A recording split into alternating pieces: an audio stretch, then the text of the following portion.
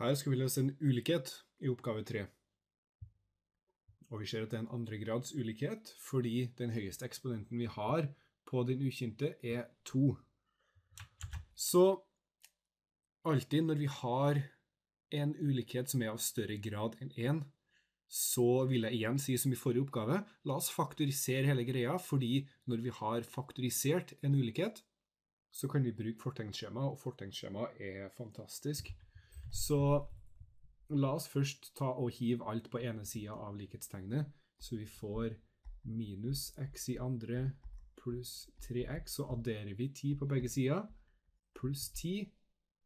Da skal det være større enn 0. Og bare fordi jeg ikke liker å ha minustegn på, eh, på det leddet her, så ganger vi gjennom hele ulikheten med minus 1. Så da får vi x i andre minus 3x minus 10.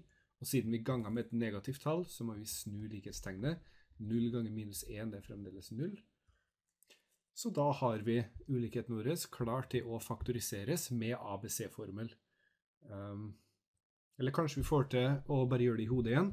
Hvilke to tall er det som addert sammen blir minus 3, og multiplisert sammen blir minus 10? Um, ok, la oss ta det her. Nå får du med tankeprosessen. Uh, vi vet at siden det er et negativt tall her, så vet vi at de to tallene som multipliseres, blir negative. Da må én av dem være negativ. Og addert sammen så skal de bli minus 3. Så det er jo 5 og 2 som ganger sammen blir 10. Og vi kan jo lage 3 av 5 og 2. Det er jo 5 minus 2.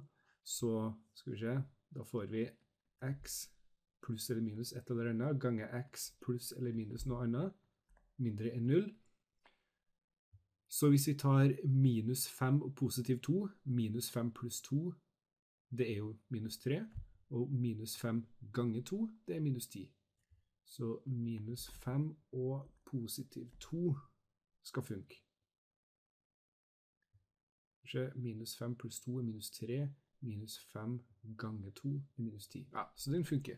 Så da kan vi hoppe over ABC-formelen denne gangen. Men for all del, ABC-formelen den eksisterer av en grunn. Den er selvfølgelig like fin å bruke. Så nå, når vi har faktorisert det her som skal være mindre enn null, så kan vi sette inn i et fortegnsskjema. Så da lager vi en linje som bare er x-verdier. Den ene faktoren er x minus 5. Den andre faktoren er x pluss 2.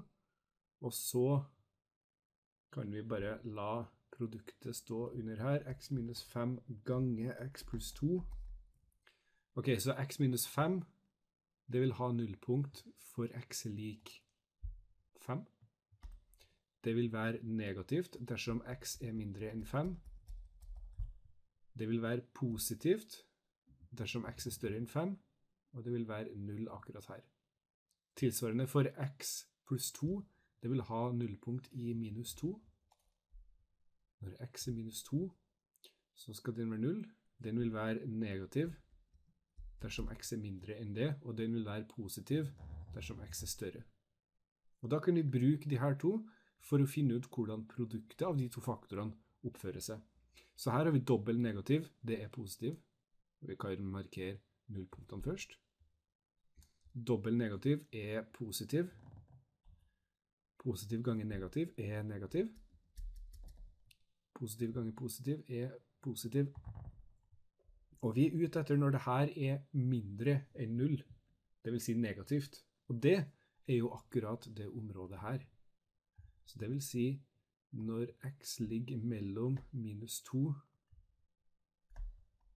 5, eller på intervallform, så kan vi si at det skjer når x ligger på intervallet 2, ikke 2, men minus 2, til 5.